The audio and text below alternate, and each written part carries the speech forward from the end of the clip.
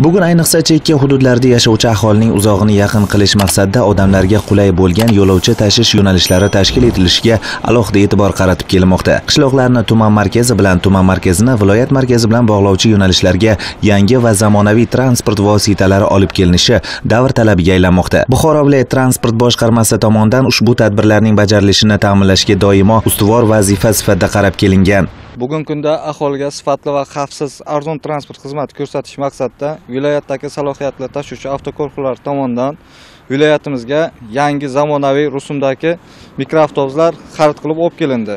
Hozirgi kunda bu mikroavtobuslar shofirkon tumani ichki mahalliy yo'nalishlarga damaslarni o'rniga bosqichma bosqich tarzda joylashtirilishi rejalashtirilgan. Men o'ttiz yillik haydovchiman.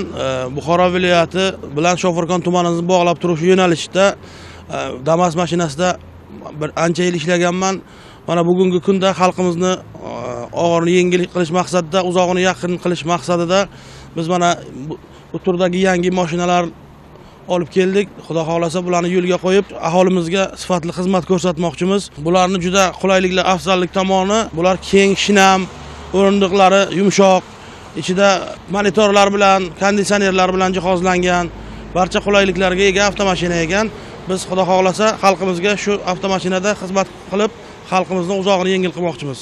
Bundan tashqari boshqarma tomonidan jamoat transportini rivojlantirish borasidagi ishlar jadallashtirilayotganini kogon avtoshoh bekati buxoro yo'nalishida harakatni boshlagan elektrobus misolida ham ko'rish mumkin. Yil oxiriga qadar avtotransport korxonalari tomonidan bu turdagi elektrobuslardan 100 ta olib kelish bo'yicha chora tadbirlar rejasi tasdiqlangan. Madrahim turdiyev abdulla rajabov buxoro.